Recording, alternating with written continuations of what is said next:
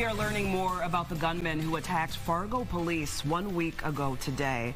One of those officers, Jake Wallin, was killed on the scene. Two others were critically injured, while a fourth took down the shooter. Today, the North Dakota Attorney General laying out a detailed timeline, walking us through exactly how the ambush happened and how it was planned. Now, our Mary McGuire walks us through the information today.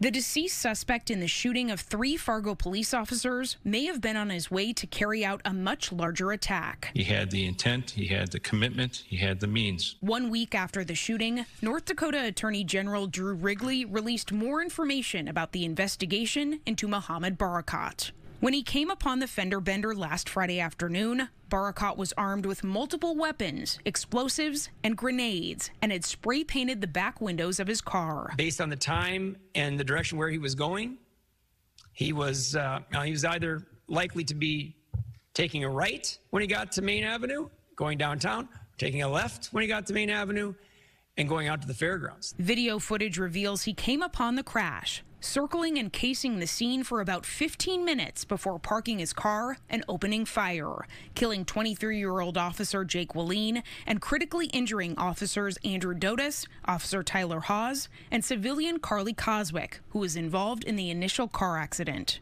Barakat was eventually shot by Officer Zach Robinson and later died at the hospital.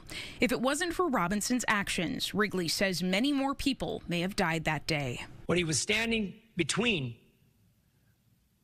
was not just the horrible events that were unfolding there, but between the horrible events that Mohamad Barakat had planned, had envisioned, planned, and intended, and armed himself for beyond fully. A forensic review of his computer revealed Barakat was searching terms like explosive ammo, kill fast, and mass shooting events. His last search the night before was about the downtown Fargo street fair happening that weekend. In the days leading up to there, he's looking for specifically to the region for um, large crowd events in the region. A specific motive for the ambush hasn't been identified, but it's a critical piece of the investigative puzzle. What could possibly motivate someone?